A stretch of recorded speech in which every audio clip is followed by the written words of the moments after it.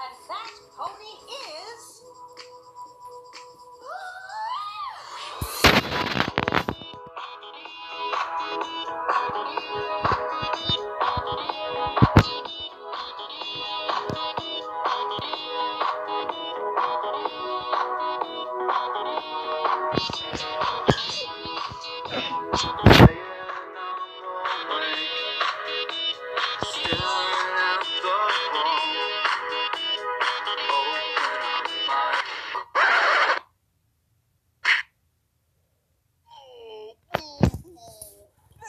a sad song for you on the world's smallest violin.